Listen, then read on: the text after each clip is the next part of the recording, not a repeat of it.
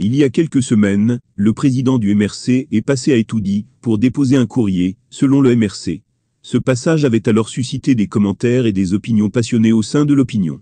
Alors que l'affaire semble avoir été oubliée et glacée dans les archives, l'on apprend il y a quelques heures les vraies raisons du passage de l'ancien ministre délégué en charge de la justice à la présidence de la République, suite à une plainte du Nigeria contre le Cameroun à la Cour internationale de justice. En effet, une publication de Maître Sikati Désiré a permis de voir clair dans cette affaire qui, visiblement, est relative à la péninsule de Bakassi, territoire qui a fait, il y a quelques années, l'objet d'un litige entre le Cameroun et le Nigeria. Mais à mon avis, le président Maurice Kanto a parfaitement raison de s'inquiéter pour Bakassi. En voici quelques raisons. La présente analyse fait suite au récent article du journal Jeune Afrique, au sujet du courrier adressé par le président Kanto à la présidence de la République.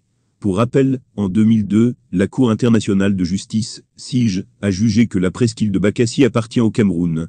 Mais 20 ans après la décision de la SIGE, nos dirigeants n'ont toujours pas pris les dispositions pour matérialiser la souveraineté du Cameroun sur ce territoire très riche en ressources naturelles, et notamment en construisant des infrastructures telles que des écoles, hôpitaux, routes, services administratifs, réseaux électriques, réseaux d'eau courante, logements, entreprises etc. Point de même, le régime n'a toujours pas mis sur pied une politique tendant à inciter les Camerounais à s'installer massivement à Bakassi, afin d'y être plus nombreux que les Nigérians. Il s'ensuit que l'écrasante majorité des habitants de Bakassi sont de nationalité nigérienne, exactement comme c'était le cas, il y a environ 30 ans au début du conflit, écrit l'avocat.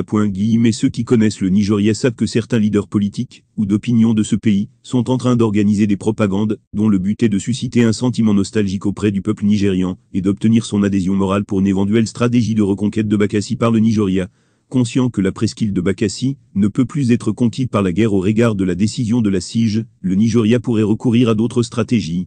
L'une d'elles, et pas les moindres, consisterait à exacerber des revendications d'identitaire ou d'autodétermination auprès des habitants de Bakassi.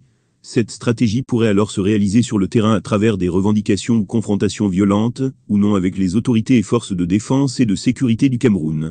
En même temps, un lobbying sera entrepris sur le terrain de la diplomatie et du droit international, afin de reconnaître le droit des habitants de Bakassi à s'autodéterminer conformément à la Charte des Nations Unies, qui prescrit le droit des peuples à disposer d'eux-mêmes. D'ailleurs, la SIGE dans un arrêt du 30 juin 1995 au sujet du Timor oriental, soutenait que le droit des peuples à disposer d'eux-mêmes constitue un des principes essentiels du droit international contemporain, pouvait-on lire également dans la tribune de Messika.